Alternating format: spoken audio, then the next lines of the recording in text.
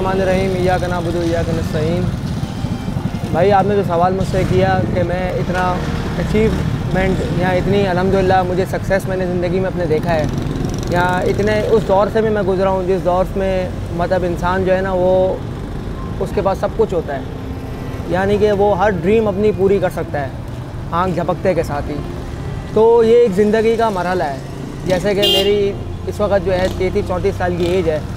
और इस एज के अंदर मैंने इतना कुछ देख लिया है, इतना कुछ सह लिया है इतना कुछ मैंने दुनिया को फेस कर लिया है अपने करीबी से कि मैं समझता हूँ कि इंसान जो है ना एक अल्लाह पे भरोसा करे, उसके बाद फिर अपने आप पे भरोसा रखे। जब इंसान का बुरा वक्त आता है ना तो उसका जो है ना साया भी साथ छोड़ देता है।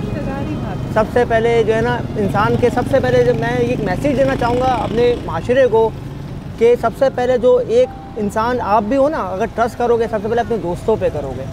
ना अपने वालदा पे करोगे, ना वालिद पे, ना अपने बहन भाइयों पे, किसी पे भी नहीं। एक इंसान का जो रिश्ता है ना, वो दोस्ती का जो रिश्ता है, वो एक ऐसा रिश्ता होता है जो हम खुद बनाते हैं।